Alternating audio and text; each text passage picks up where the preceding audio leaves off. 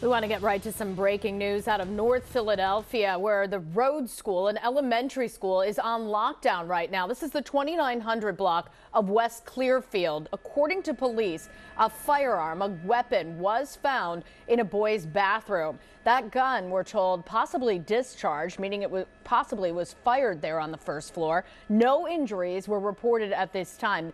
Police did recover that gun, so they do have the gun. Again, nobody injured, but a firearm was found in a boy's bathroom here at Rhodes Elementary School on West Clearfield in North Philadelphia. This is unfolding right now. Again, no injuries reported, but we're going to monitor this and bring you any new information. We do expect some additional information to be coming from the district and Philadelphia police, so we will update this story as that new information becomes available.